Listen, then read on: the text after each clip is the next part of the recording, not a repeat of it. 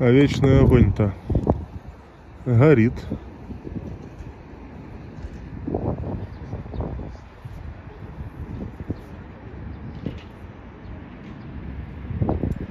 Люди на фоне даже фотографируются.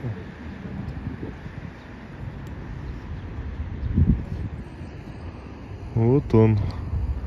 Памятник вечной славы. В одной руке факел, как символ свободы, во второй пальмовая ветвь, как символ победы. Множество цветов. И что лично меня удивило, это то, что он действительно горит. Зажгли вечный огонь.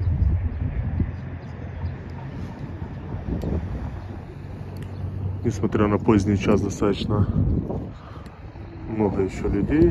Люди фотографируются, что-то обсуждают активно, кто-то даже плачет.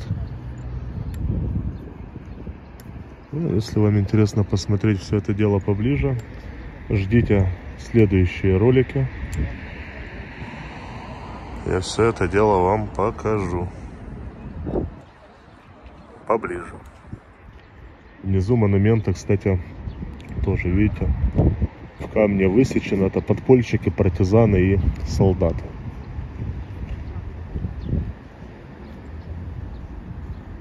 Вот такая вот у нас обстановочка.